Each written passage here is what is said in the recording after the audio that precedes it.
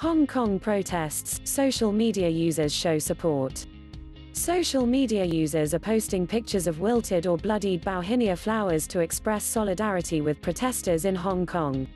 Platforms such as Facebook, Twitter, and Instagram have been used to share news, pictures, and messages of support alongside the images, as well as hashtags such as hashtag Fight for Hong Kong and hashtag Hong Kong Protest.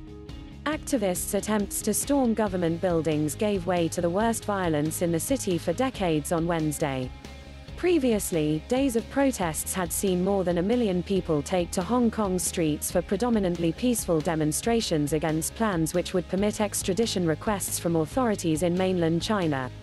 Since the sovereignty of the former British colony reverted to China in 1997, when the Bauhinia blakeana, or Hong Kong orchid tree, was incorporated into the territory's new flag, it has retained judicial and economic independence under the principle of one country, two systems.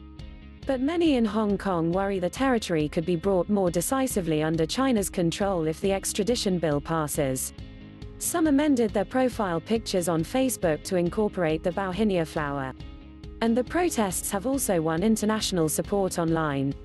In China, however, the internet is tightly controlled by the government and content on Chinese social media platforms is heavily regulated.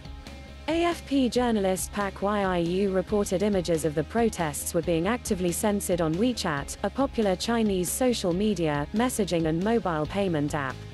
In Hong Kong, encrypted messaging apps such as WhatsApp, Telegram, and Signal have played an important role in enabling organizers to coordinate the protests.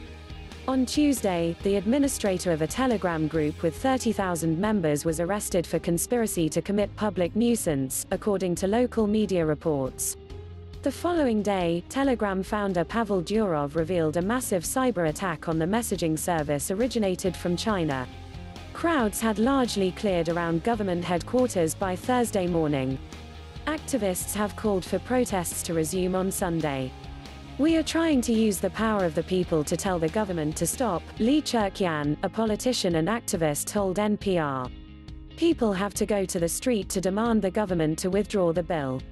We will continue our protest and have a big march again on Sunday and next Monday. A second reading of the bill has been delayed by Hong Kong's Legislative Council. It is unclear when this will take place, but the government maintains it is not backing down. Thanks for watching. To get more storage solution videos like this, hit the like and subscribe button, and leave a comment below. Hope you enjoyed.